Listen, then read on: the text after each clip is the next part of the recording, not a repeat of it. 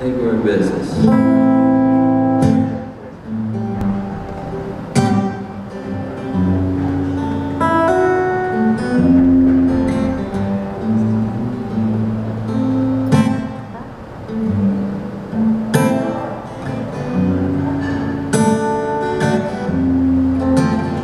There's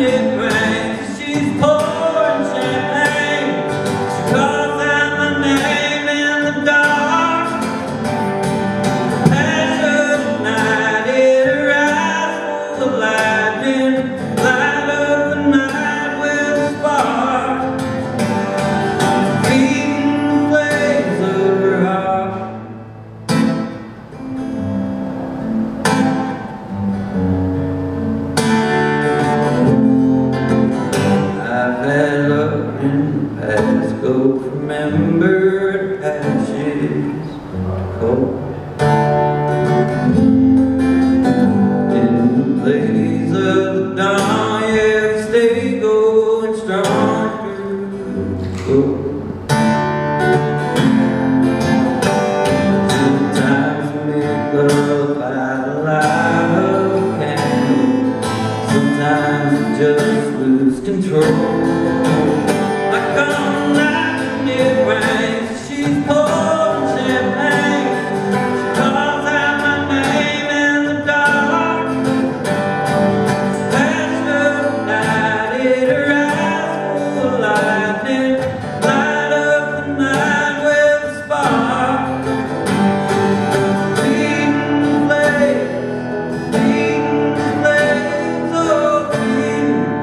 were hot.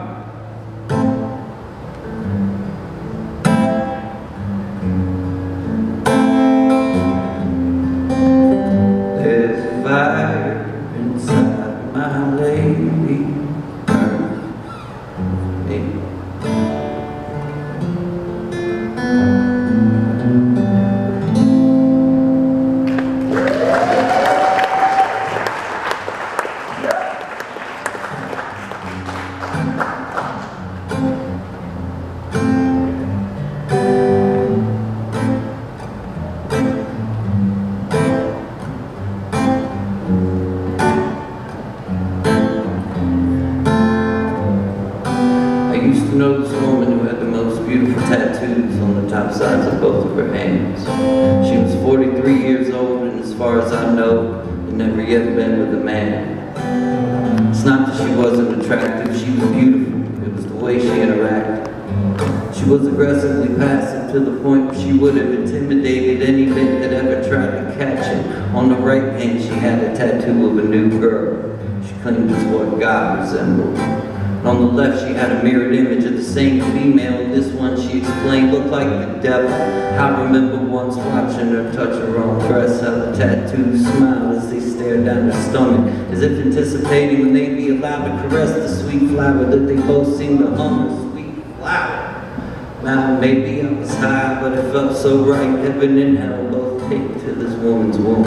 It didn't make sense how she could commence touching herself with me wide awake in the same room. But if I've learned anything in my years, I learned I no longer believe in surprise. What happened next, man, you're still my tears. The tattoos came alive right in front of my eyes. They both slowly stood up and climbed off her hands. Showed me why she never took the time with a man. They climbed deep inside of this woman's garden. She closed her eyes gently bit her bottom lip. I stepped, I left, and I don't regret leaving. And I'll never forget all the things I saw that evening. A glimpse of religion, a piece of coming closer, understanding more about what intrigues me most. I didn't get turned on, I just got turned.